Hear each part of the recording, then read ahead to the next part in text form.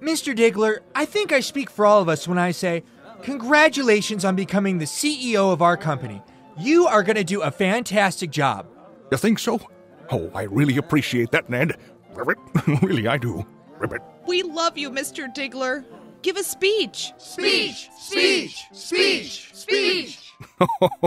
well, okay, if I must.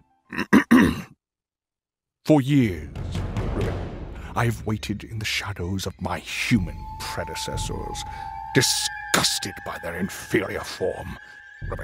Long have I waited for this day, for I am the chosen one.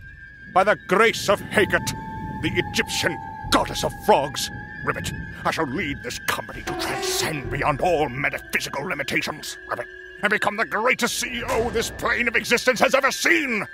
Witness me, and long live Heket, god of the frogs! Rabbit, rabbit, rabbit, rabbit. Great speech, Mr. Diggler. That was really great. There are going to be a lot of changes around here, Ribbit. Starting with the humans. From now on, it will be mandatory to be a frog, Ribbit. Or at least hop like a frog. Mr. Diggler, you can't possibly. Second, our business model is completely outdated. Our company is no longer going to be building air quality equipment. From now on, Ribbit, we will eat flies. How are we going to make any money? Mind your business, human. This is a business. I work here. Silence! Ribbit.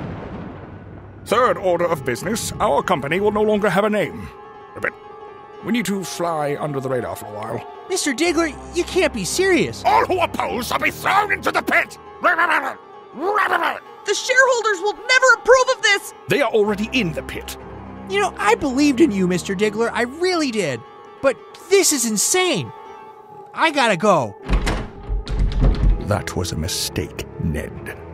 Heket will not be pleased. Throw him into the pit. Ribbit, ribbit.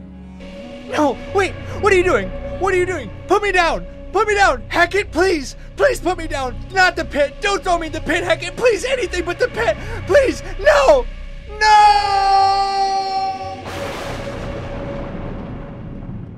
So, what will it be, Ribbit?